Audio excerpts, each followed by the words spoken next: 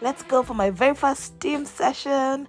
That's me packing a few essentials, some towels, my cream, getting into my robe, feeling all good, feeling sexy.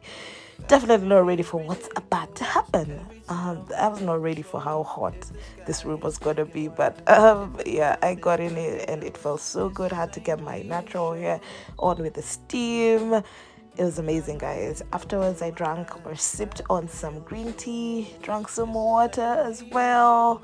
Just me enjoying my nice, clear, cleansed, clarified skin. we'll just try out the steam